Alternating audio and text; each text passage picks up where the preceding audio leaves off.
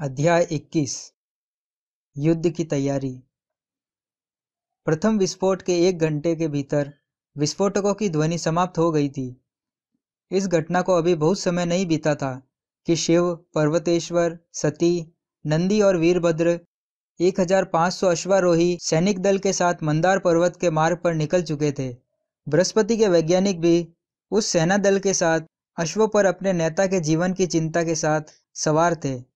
वे तेज़ी से चले जा रहे थे और उन्हें आशा थी कि वे उस पर्वत की यात्रा आठ घंटे से कम समय में तय कर लेंगे। वह द्वितीय प्रहर का अंतिम समय था, जब सूर्य सीधे सिर पर चमक रहा था। उनका सेना दल सड़क के अंतिम मोड़ से मुड़ गया था, जहाँ वन क्षेत्र समाप्त हो चुका था और पर्वत दिखाई देने लगा था। ज्यों ही उनकी दृष्टि उस पर्वत पर पड़ी, जो साम्राज्य का हृदय था तो उसे देखकर एक अति क्रुद्र पुकार उठी। मंदार को निर्दयतापूर्वक नष्ट कर दिया गया था। पर्वत के मध्य में एक विशाल विशालकाय ज्वालामुखी दिखाई दे रहा था। वह इस प्रकार प्रतीत हो रहा था कि जैसे एक अत्यंत विशालकाय असुर ने अपने वृद्ध हाथों से पर्वत के प्रमुख भाग को कलछी डालकर बाहर की ओर निकाल दिया था। विज्ञान का अत्यधिक विशाल भवन विध्वस्त हो चुका था और उसके अवशेष नीचे के मैदानों में बिखरे पड़े थे। वह विशाल विशालकाय मथानी अब भी मंथन कर रहा था। उसकी भयानक ध्वनि उस डरावने दृश्य को और भी विकराल बना रहा था। बृहस्पति, शिव ने गर्जना करते हुए अपने घोड़े को ऐड लगाकर तेज़ी से पर्वत के मार्ग पर दौड़ा दिया था, जहाँ आश्चर्यजनक रूप से वह मार्ग अभी भी उसी प्रकार पक्का खड़ा था। प्रतीक्षा करे शिव, पर्वतेश्वर ने पुकारा, यह उनकी चाल भी हो सकती है। किसी भी जोखिम से अनजान शिव ने घोड़े को उस पथ पर पर्वत के उजड़े हुए हृदय के मध्य सरपट दौड़ा दिया। पर्वतेश्वर एवं सती के नेतृत्व में वह सेना दल नीलकंठ के साथ होने के लिए तेज़ी से दौड़ पड़ा। वे ऊपर पहुँचे तो एक भयानक दृश्य उनके सामने था। उस भवन के कुछ हिस्से नींव पर टूटकर झूल रहे थे। कुछ हिस्से अभी भी दहक रहे थे। उस बारंबार के विस्फोटकों द्वारा जगह जगह से कटे हुए आसानी से न पहचानने योग्य एवं झुलसे हुए शरीर के टुकड़े हर जगह बिखरे हुए थे। यहाँ तक कि मृतकों को भी पहचानना असंभव था। शिव लड़खड़ाकर घोड़े से उतर गया। उसके चेहरे पर आशा की किरण नहीं बची थी। ऐसे प्राणघातक आक्रमण में शायद ही कोई बचा होगा। बृहस्पति, कैसे इन त्रास्तकारियों को देवी अस्त्र प्राप्त हुए? उत्तेजित पर्वतेश्वर ने कहा। उसके अंदर प्रतिशोध की ज्वाला धधक रही थी। सैनिकों को आदेश दिया गया कि शरीर के समस्त टुकड़ों को इकट्ठा करे और एक पृथक चिता जलाकर उन मृत आत्माओं की दूसरी यात्रा में सहायता करने के लिए उनकी अंत्येष्टि कर दे। जो मारे गए थे, उनकी सूची बनाई जा रही थी। उस सूची में पहला नाम था मेलुहा के प्रमुख वैज्ञानिक, सूर्यवंशी ब्राह्मण, राजहंस जाति वर्ग चिन्हित, बृहस्पति का। अन्य नामों में अरिश नियमियों के नाम थे, जिन्हें मंदार की सुरक्षा का भार सौंपा गया था। एक ढांढस वाली बात यह थी कि मृतकों की संख्या बहुत कम थी, क्योंकि अधिकतर मंदार निवासी नीलकंठ के विवाह के उत्सव में प्रतिभाग करने के लिए देवगिरी में उपस्थित थे। उस सूची को कश्मीर के सन्यासियों को भेजा जा रहा था, जिनकी आध्यात्मिक बलों की शक्तियाँ सर्वोत्तम मानी जाती थी। यदि उन सन्यासियों को इस मृत आत्माओं के लिए पूजा करने के लिए मनाया जाता था तो यह आशा की जाती थी कि इस जन्म की भयानक मृत्यु उनके अगले जन्मों को दूषित नहीं करेगी। यह सोमरस भी हो सकता है, सेनानायक। एक अन्य विश्वसनीय लगने वाला कारण देते हुए बृहस्पति के सहायकों के प्रमुख वैज्ञानिक पाणिनि ने कहा। शिव ने पाणिनि के शब्दों को सुनकर ऊपर की ओर देखा। यह सोमरस ने किया कैसे? अविश्वास के साथ सती ने पूछा।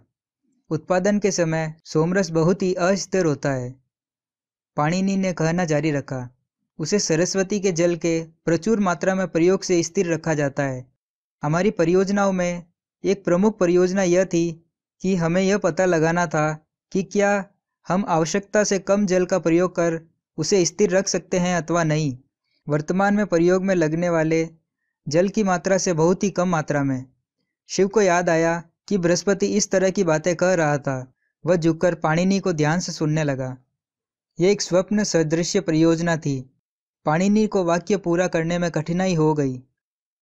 इस युग के महानतम वैज्ञानिक और मंदार पर्वत पर समस्त ज्ञानी लोगों के लिए पितृतुल्य बृहस्पति नहीं रहे।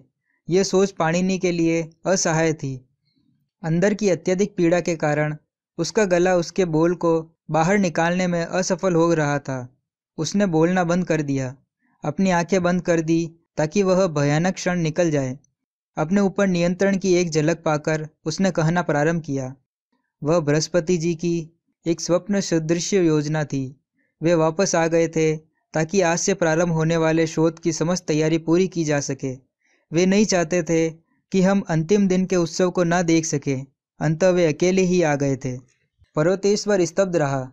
आपके कहने का अर्थ है कि यह एक दुर्घटना हो सकती है। हाँ पाणिनि ने उत्तर दिया।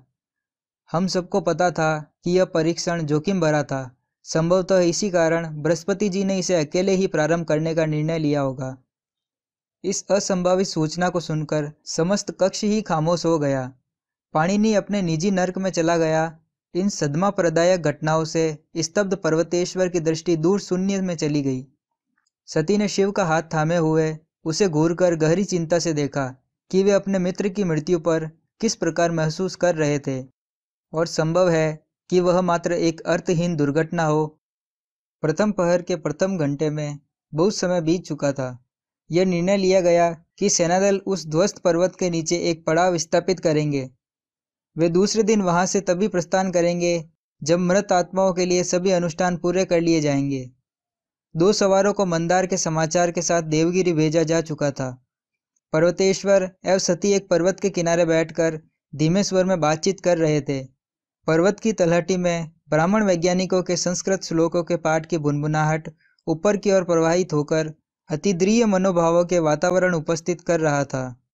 नंदी एवं वीरभद्र थोड़ी दूरी पर सावधान की मुद्रा में खड़े होकर अपने सेनानायक एवं सती को देख रहे थे। शिव विचारों में डूबा हुआ, मंदार के अवशेषों के मध्य घूम रहा था। बृहस्पति के पहचान योग्य किसी भाग को न पाकर उसके हृदय में टीस उठ रही थी। मंदार में सभी लोग न पहचाने जाने की स्थिति तक नष्ट किए जा चुके थे। वह अधीरता से अपने मित्र का कोई संकेत पाना चाहता था। कुछ ऐसी वस्तु, जिसे वह हमेशा अपने पास रख सके, ऐसा कुछ, जिससे वह लिपट सके। कुछ ऐसा जो वर्षों तक उसकी पीड़ा में रहने वाली, उसकी संतप्त आत्मा को सांत्वना दे सके। वह घोंगे की चाल से चल रहा था। उसकी आँखें भूमि पर सूक्ष्म परीक्षण कर रही थी। वे अचानक ही एक वस्तु पर आकर ठहर गई। जिसे वह भली भांति पहचानता था। वह धीरे से नीचे से उठाने के लिए झुका। वह चमड़े का कड़ा था। उसके किनारे झुलसे हुए थे। उसके पीछे का खोसने वाला हिस्सा जला हुआ था। उस भयानक विस्फोट के ताप ने उसके अधिकतर स्थलों को जलाकर भूरे से काला कर दिया था। हालाँकि उसके केंद्र में कड़ाई की हुई बनावट आश्चर्यजनक ढंग से दाग रही थी। शिव ने उसे अपने आँखों के समीप लाकर देखा। अस्त होते सूर्य की रक्तिम किरणों ने उस ओम के प्रतीक चिन्ह में चमक भर दी। उस ओम के ऊपर एवं नीचे के दो वक्र भागों के मिलन पिस्तल पर दो सर्पों के मुख जुड़े हुए थे। तीसरा वक्र पूर्व की ओर निकलकर अंत में सांप के मुख से समाप्त हो रहा था और इसकी द्विशाखित जीवा डराने जैसी बाहर निकली हुई थी। यह वही था। उसने बृहस्पति की हत्या की। शिव ने तेज़ी से इधर उधर दृष्टि घुमाई।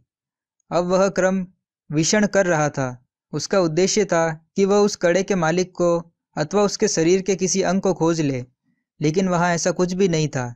शिव मन ही मन चित्कार कर उठा। उसकी वह चित्कार केवल उसे और बृहस्पति की घायल आत्मा को ही सुनाई देने वाली थी। उसने उस कड़े को अपने हाथों में कसकर पकड़ लिया। अब तक सुलग रही उसके अंगार ने उसकी हथेली को लगभग जला दिया। उसने तब भी उसे छोड़ा नहीं, बल्कि उस पर और मज़बूत पकड़ बना ली। और फिर उसने प्रतिशोध की एक भयानक शपथ ली। उसने सौगंध ली कि वह उस नागा की ऐसी हत्या करेगा, जो उसके आने वाले सात जन्मों तक उसका चिन्ह रहेगा। वह नागा और उसकी समस्त सेना को पूर्णतः नष्ट कर दिया जाएगा छोटे छोटे टुकड़ों में काटकर। शिव शिव! निरंतर आने वाली इस पुकार ने उसे खींचकर वर्तमान के सच में लाकर खड़ा कर दिया। सती उसके सामने प्रेम से उसके हाथ का स्पर्श करती हुई खड़ी थी। पर्वतेश्वर उसके पास परेशान सा खड़ा था। नंदी और वीरभद्र उसकी दूसरी ओर खड़े थे। इसे छोड़ दीजिए, शिव। सती ने कहा। शिव उसे निरंतर देख रहा था। अवाक। इसे छोड़ दीजिए, शिव। सती ने कोमलता से दोहराया। यह आपके हाथों को झुलसा रहा है। शिव ने अपनी हथेली खोल दी। नंदी ने तत्काल झुककर उसके हाथ से कड़े को ले लिया और तक्षण ही उसने गहरी पीड़ा में चिल्लाकर उस कड़े को नीचे गिरा दिया, क्योंकि उसने उसके हाथ को जला दिया था। प्रभु ने इसे कैसे इतनी देर तक पकड़ा हुआ था? शिव तत्काल ही झुका और उसने कंगन उठा लिया। इस बार सावधानी से। उसकी अंगुलियाँ कम झुलसे हुए उस हिस्से को पकड़े हुए थी, जिस हिस्से में ओम का प्रतीक चिन्ह बना हुआ था। वह पर्वतेश्वर की ओर मुड़ा और उसने कहा, यह दुर्घटना नहीं थी। क्या? चौंकते हुए पर्वतेश्वर ने पूछा। क्या आपको पूरा विश्वास है? सती ने पूछा। शिव ने सती की ओर देखा और उस कड़े को उठा दिया। सर्पों वाला ओम स्पष्ट दिखाई दे रहा था। सती ने गहरी सांस छोड़ी। पर्वतेश्वर नंदी और वीरभद्र तत्काल ही उस कड़े को देखने के लिए समीप चले गए। नागा, नंदी फुसफुसाया। वही कमीना जिसने मेरू में सती पर आक्रमण किया था। शिव ने गुर्राकर कहा, वही नागा जिसने मंदार पर्वत से वापस जाते समय हम लोगों पर हमला किया था, यह वही कमीना है, कुतिया का पिल्ला। उसे इसकी कीमत चुकानी पड़ेगी, शिव, वीरभद्र ने कहा। पर्वतेश्वर की ओर मुड़ते हुए शिव ने कहा हम आज रात ही देवगिरी लौट चलेंगे। हम युद्ध की घोषणा करते हैं। पर्वतेश्वर ने सहमति में सिर हिलाया। मेलुहा का युद्ध परिषद शांति से बैठा हुआ था। वे मंदार में शहीद होने वालों के सम्मान में पाँच मिनट का मौन धारण कर रहे थे। पर्वतेश्वर और उसके पच्चीस सेनापति सम्राट दक्ष की दाहिनी ओर बैठे हुए थे। दक्ष के बाईं ओर नीलकंठ कनखला के नेतृत्व में प्रशासनिक ब्राह्मण एवं पंद्रह प्रांतों के राज्यपाल बैठे हुए थे। परिषद का निर्णय किया जा चुका है दक्ष ने कार्रवाई प्रारंभ करते हुए कहा। प्रश्न ये है कि हम कब आक्रमण करें? अधिक से अधिक हमें एक महीने का समय लगेगा। जब हम युद्ध के लिए प्रायण करेंगे महाराज, पर्वतेश्वर ने कहा। आप तो जानते ही हैं कि मेलुहा एवं स्वप्नद्वीप के मध्य कोई सड़क मार्ग नहीं है। हमारी सेना को सघन एवं अभेद्य जंगलों से होकर गुजरना होगा। इस प्रकार यदि हम एक महीने में भी प्रायण करते हैं तो स्वदीप में हम तीन महीने से पहले नहीं पहुँच सकते। इसलिए समय ही इसका सार है। तो फिर तैयारी प्रारंभ कर दी जाए। महाराज, कनखला ने क्षत्रियो के युद्ध की पुकार में ब्राह्मणों के तर्क के स्वर को जोड़ते हुए कहा, क्या मैं दूसरा उपाय सुझा सकती हूँ? दूसरा उपाय? चकित दक्ष ने पूछा। कृपया मुझे गलत मत समझिए कनकला ने कहा। मैं मंदार की घटना पर संपूर्ण साम्राज्य के क्रोध को समझती हूँ, किंतु हम अपराधकर्ताओं से प्रतिशोध लेना चाहते हैं। न कि समस्त स्वदीप वासियों से। क्या हम इसका प्रयास कर सकते हैं कि इससे पहले कि युद्ध की तलवार उठे, पहले हमारा काम छुरी से ही चल जाए, जिस मार्ग का आप सुझाव दे रही हैं, वह कायरों वाला है कनकला पर्वतेश्वर ने कहा। नहीं पर्वतेश्वर, मैं ऐसा कुछ सुझाव नहीं दे रही कि हम कायरों की भांति बैठे रहें और कुछ न करें। कनखला ने विनम्रता से कहा, मैं ऐसे उपाय का सुझाव दे रही हूँ, जिससे संभव है कि हम अपने सैनिकों के एवं अन्य निर्दोष के लहू बहाए बिना ही अपना प्रतिशोध पूरा कर सकते हैं। मेरे सैनिक साम्राज्य के लिए रक्त बहाने को तैयार है। प्रधानमंत्री महोदया, मैं जानती हूँ कि वे तैयार है, कनखला ने संयम रखते हुए कहा, और मैं यह भी जानती हूँ कि आप भी मेलुहा के लिए अपना रक्त बहाने को तैयार बैठे हैं। परंतु मेरे कहने का अर्थ यह है कि हम सम्राट दिलीप के पास अपना दूध भेज सकते हैं। इस अनुरोध के साथ कि वे अपराधियों को हमारे सुपुर्द कर दे, जिन्होंने इस आक्रमण का अपराध किया है। हम यह चेतावनी भी दे सकते हैं कि यदि वे ऐसा नहीं करते हैं तो हम अपनी पूरी शक्ति के साथ आक्रमण कर देंगे। उसकी आँखें अधीरता में तिरेर रही थी। पर्वतेश्वर ने कहा, उससे अनुरोध करे और वह क्यों सुनेगा? दशकों से स्वदीपवासी अपनी अधम गतिविधियाँ करके हमसे बचते रहे हैं, क्योंकि उन्हें लगता है कि हम में युद्ध करने की औकात नहीं है। और यदि हम मंदार पर्वत जैसे उपद्रवी कार्य के बाद भी इस छोटी छुरी वाली युक्ति की बात करेंगे तो उन्हें पूरा विश्वास हो जाएगा कि वे कभी भी हम पर आक्रमण कर सकते हैं और हम उनका प्रत्युत्तर नहीं देंगे। मैं इससे सहमत हूँ, पर्वतेश्वर, कनखला ने कहा। उन्होंने त्रासदिकारियों से आक्रमण कराए, क्योंकि वे डरते हैं। वह इस बात से डरते हैं कि वे हमसे आमना सामना कर मुकाबला नहीं कर सकते।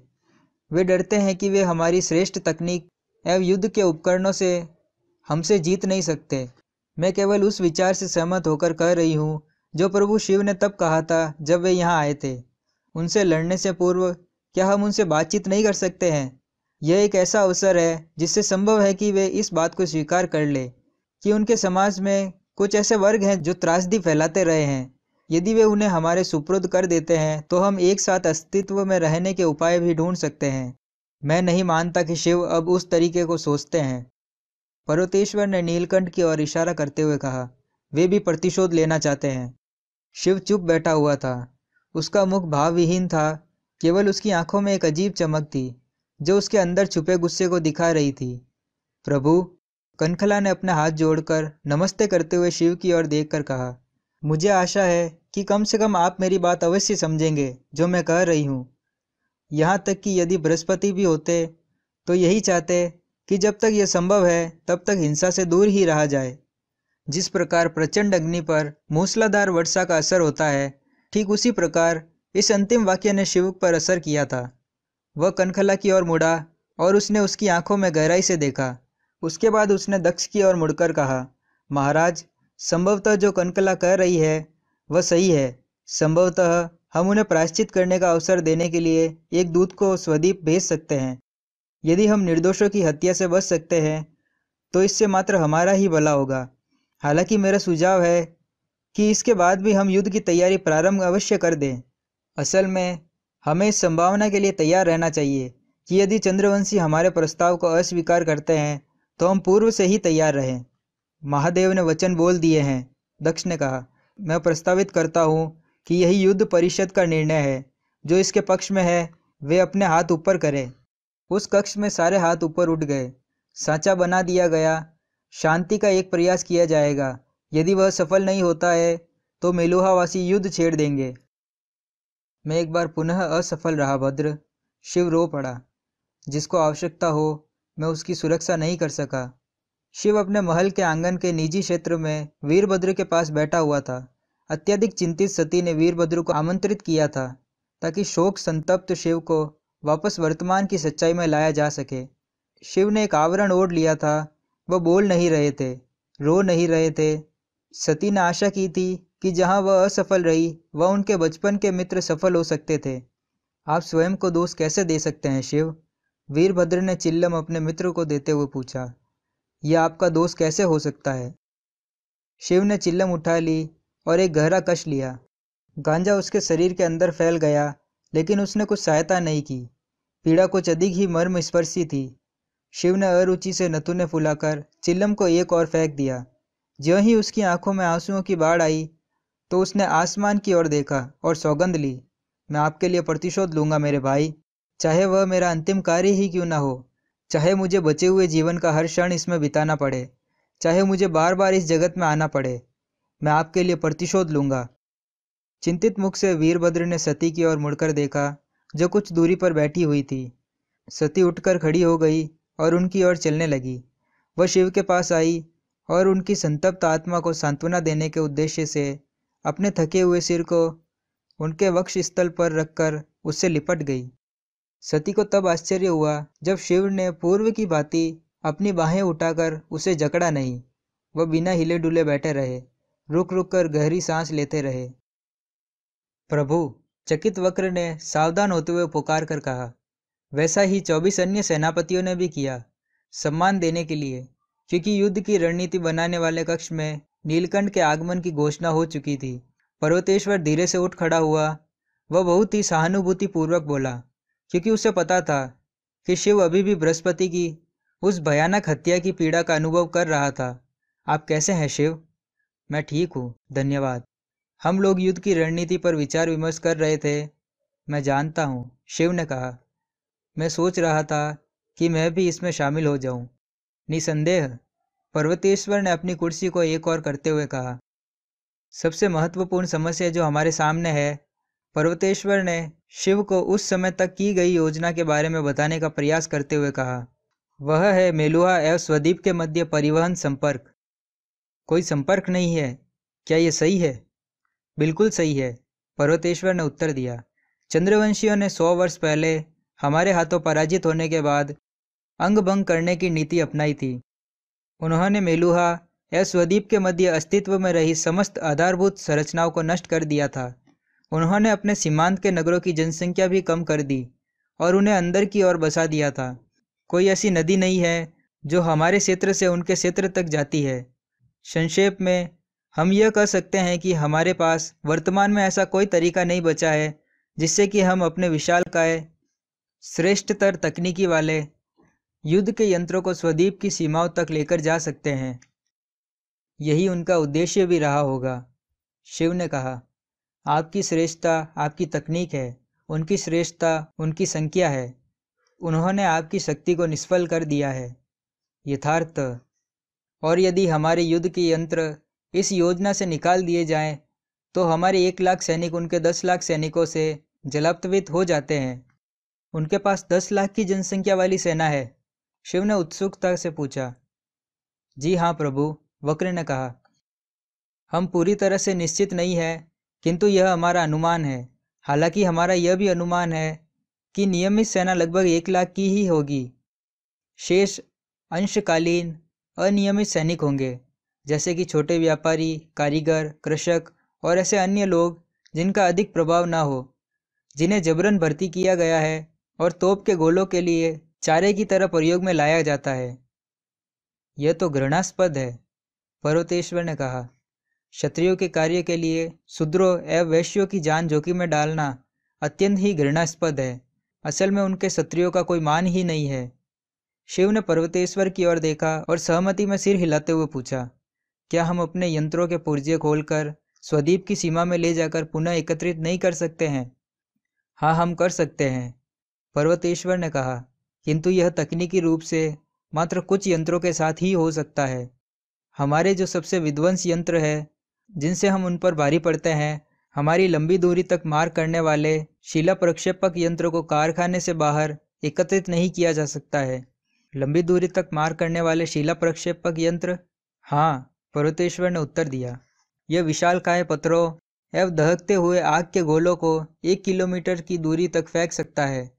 यदि इसका प्रयोग प्रभावी ढंग से किया जाता है तो ये दुश्मन की सेना को अत्यधिक दुर्बल एवं लगभग नष्ट कर देती है। ताकि उसके बाद अश्वारोही एवं पैदल सेना अपना काम सफलतापूर्वक कर सके। देखा जाए तो पूर्व में जो काम हाथी करते थे, यह लगभग उसी प्रकार का काम है।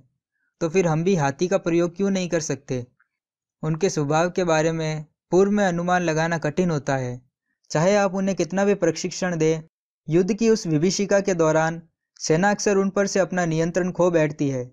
असल में पिछले युद्ध में स्वदीप वासियों को उनके हाथियों ने ही संहार की ओर अग्रसर किया था। क्या सचमुच में? शिव ने पूछा। हाँ पर्वतेश्वर ने उत्तर दिया। महावत के ऊपर गोलीबारी एवं युद्ध के नगाड़ों से अत्यधिक शोर मचाने की हमारी योजना काम कर गई थी। चंद्रवंशियों के हाथी घबरा गए और वे विध्वंस करते हुए, विशेषकर अंशकालीन सैनिकों की पंक्तियों को तोड़ते हुए, उनकी ही सेना में घुस पड़े थे। उसके बाद बस आक्रमण कर उन्हें समाप्त कर देना ही शेष बचा था। तो फिर हाथी नहीं। सर्वता नहीं पर्वतेश्वर ने कहा। तब इसका अर्थ यह हुआ कि हमें अपने साथ कुछ ऐसा लेकर जाना होगा, जो उनके अंशकालीन सैनिकों को पूरी तरह से नरम कर सके, ताकि संख्या की ज्वेष्ठता को निष्फल किया जा सके। पर्वतेश्वर ने सहमत होकर सिर हिलाया। शिव ने खिड़की से बाहर दूर अपनी दृष्टि दौड़ाई, जहाँ प्रातःकालीन रुकी हवा पत्तों में फड़फड़ाहट उत्पन्न कर रही थी। वे पत्ते हरे थे। शिव ने गहरी दृष्टि से उन्हें घूरा। वे हरे ही रहे। मैं समझ गया। शिव ने अचानक ही पर्वतेश्वर की ओर देखकर कहा, उसका चेहरा एक नए विचार से दीप्तिमान हो उठा था। हम लोग बाणों का प्रयोग क्यों नहीं करते? बाण? चकित होकर पर्वतेश्वर ने पूछा, धनुर्विद्या, अधिकतर कुलीन क्षत्रियों के मध्य द्वंद युद्ध करने वाली युद्ध कला थी। हालाँकि अब यह मात्र कुलीन क्षत्रियों के लिए एक प्रदर्शन की कला बनकर रह गई थी। क्योंकि एक दूसरे से द्वंद शत्रु मात्र समान चयनित जाति वर्ग के क्षत्रियों में ही हो सकता था। धनुर्धर को अपनी असाधारण दक्षता के कारण अत्यधिक सम्मान प्राप्त था, किंतु वे युद्ध के, किंतु वे युद्ध में निर्णायक नहीं थे। एक समय था जब धनुष एवं बाण जनसंहार के अस्त्र के रूप में युद्ध की रणनीति में महत्वपूर्ण होते थे। वह समय देवी अस्त्रों का था। अधिकतर ऐसे अस्त्र सामान्यतः बाणों द्वारा छोड़े जाते थे। फिर कई हज़ार साल पहले भगवान रुद्र ने देवी अस्त्रों पर प्रतिबंध लगा दिया। तो बड़े स्तर के युद्धों में तीरंदाजी दलों की प्रभाविता अत्यधिक कम हो गई। यह उनकी संख्यात्मक श्रेणी को कैसे कम कर सकता है प्रभु? वक्र ने कहा, यहाँ तक कि सबसे दक्ष धनुधारी को भी कम से कम पाँच सेकंड लक्ष्य साधने, बाण को चलाने और शत्रु को मारने में लग जाता है। हमारे पास मात्र एक सौ ऐसे क्षत्रिय हैं, जो स्वर्ण स्तर के धनुर्धर हैं। शेष बाण चला तो सकते हैं, किंतु उन पर विश्वास नहीं किया जा सकता है। इस प्रकार हम एक मिनट में एक हज़ार दो सौ शत्रुओं से अधिक को नहीं मार सकते। ये चंद्रवंशियों के विरुद्ध युद्ध में अवश्य ही पर्याप्त नहीं हो सकता है। मैं बाणों को एक के सामने एक के चलाकर युद्ध करने की बात नहीं कर रहा, शिव ने कहा। मैं कह रहा हूँ कि उनका प्रयोग शत्रुओं को नरम करने में जनसंहार के अस्त्र के रूप में किया जा सकता है। अपने सुनने वालों के न समझ पाने वाले भावों पर बिना ध्यान दिए ही शिव ने कहना जारी रखा, मुझे इसकी व्याख्या करने दीजिए। हम निचले चयनित जाति वर्ग के क्षत्रियों के धनुर्धारियों का एक दल तैयार करते हैं। किंतु उनके लक्ष्य अच्छे नहीं होंगे, वक्र ने कहा। इससे कोई अंतर नहीं पड़ता है। मान लीजिए कि हमारे पास पाँच हज़ार ऐसे धनुषधारी हैं।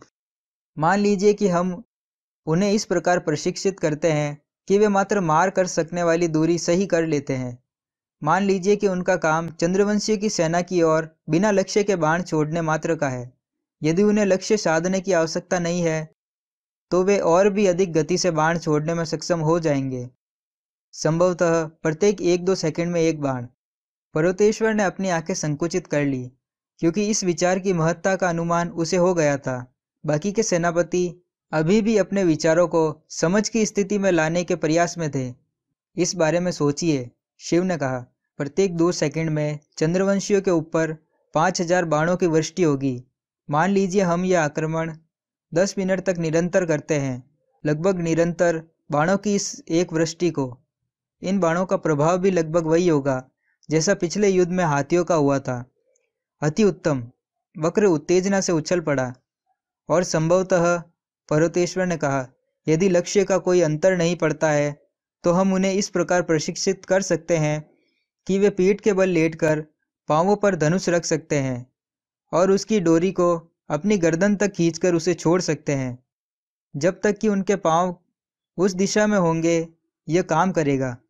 अति उत्तम, शिव ने उत्तेजना से कहा, क्योंकि तब धनुष बड़े आकार के हो सकते हैं और हम लंबी दूरी तक मार कर सकते हैं और बाण बड़े और मोटे हो सकते हैं, लगभग भाले की तरह। पर्वतेश्वर ने कहना जारी रखा, इतने शक्तिशाली कि चमड़े और लकड़ी से बनी ढालों को भी छेद कर सके। मात्र वही सैनिक इससे सुरक्षित रह सकेंगे, जो उनकी नियमित सेना के सैनिक होंगे और जिनके पास लोहे की ढालें होंगी। क्या अब हमारे पास उनका उत्तर है? शिव ने पूछा। हाँ अब उत्तर है। पर्वतेश्वर ने एक मुस्कान के साथ कहा। वह वक्र की ओर मुड़ा, इस दल की स्थापना करो। मुझे दो सप्ताह के अंदर पाँच हज़ार ऐसे सैनिक चाहिए। यह दल तैयार रहेगा, प्रभु, वक्र ने कहा। आप क्या बात करना चाहते हैं, शिव? पर्वतेश्वर ने धातु विज्ञान के कारखाने में प्रवेश करते हुए पूछा। शिव के अनुरोध के अनुसार, उसके साथ वक्र एवं प्रसन्नजीत भी थे। वक्र बड़े, अनमने ढंग से धनुषधारी दल को छोड़कर आया था, जिसे वह पिछले एक सप्ताह से प्रशिक्षण दे रहा था।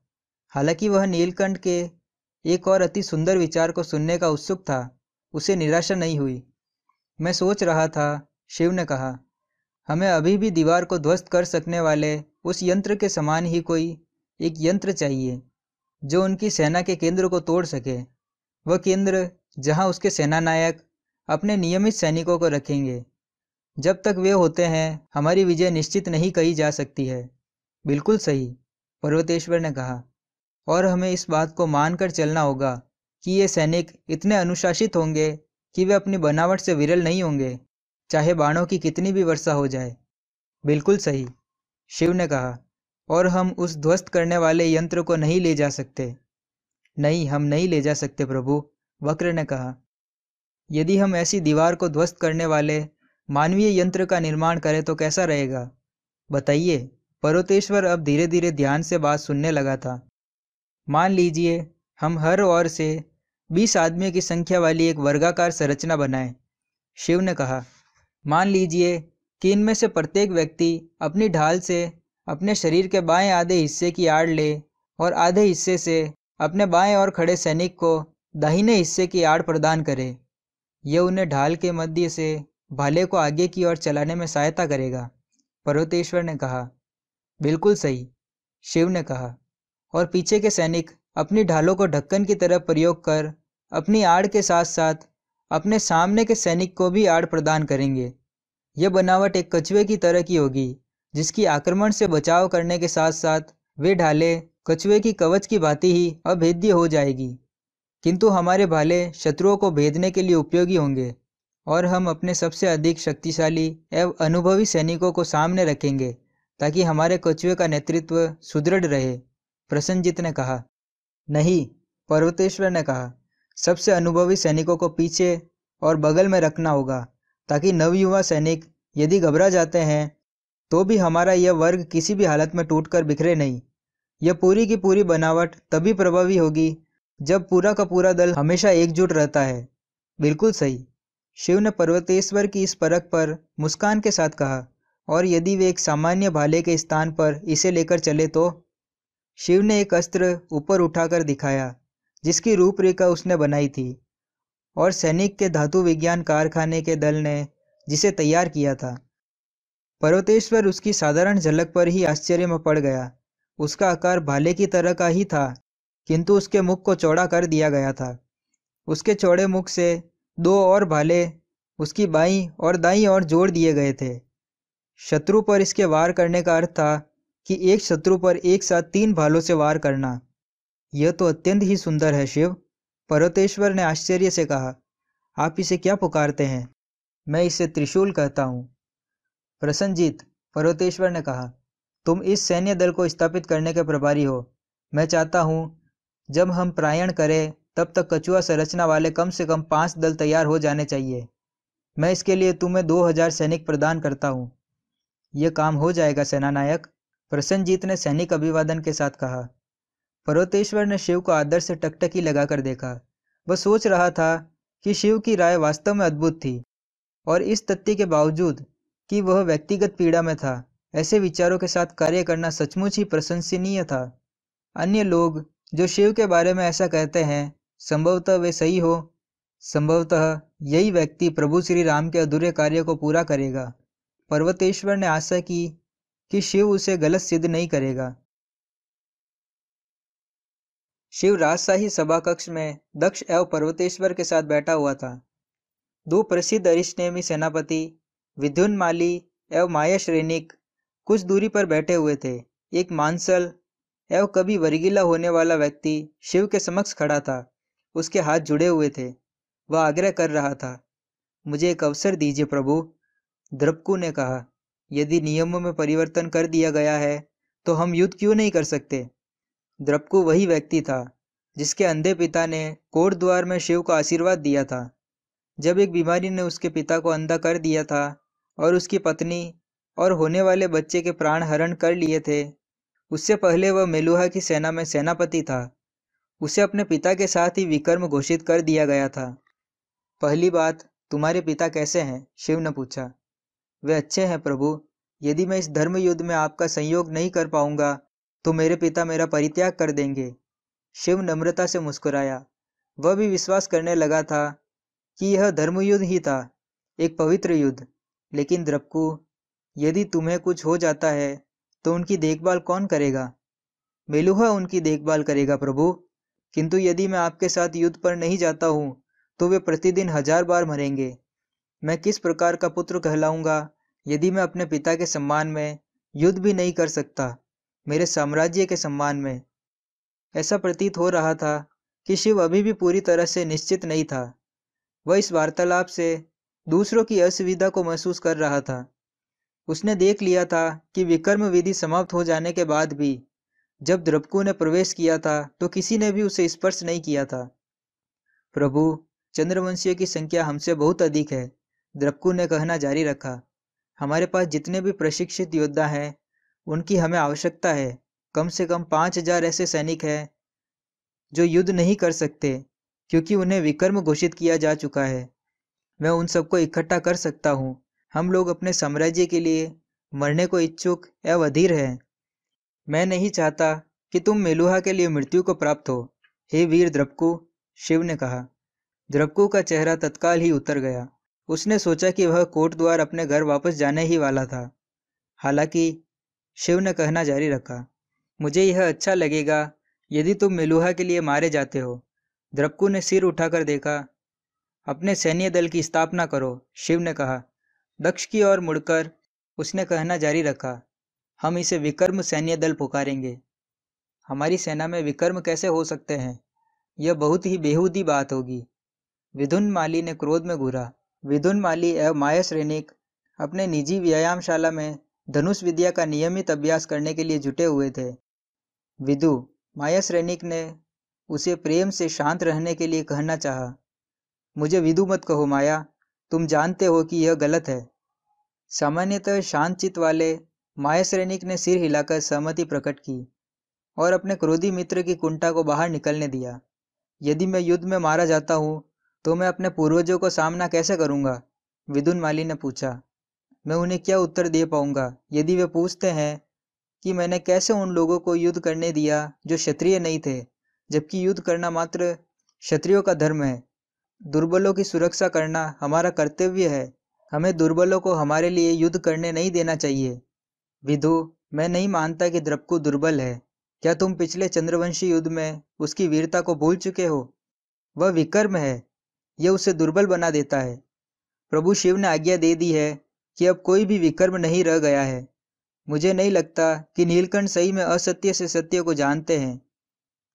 विदु, माया श्रेणिक चिल्ला पड़ा। विदुन माली इस अचानक प्रकोप पर सम गया। यदि नीलकंठ कहते हैं कि यह उचित है, माया श्रेणिक ने कहना जारी रखा तो यह उचित है। धन्यवाद।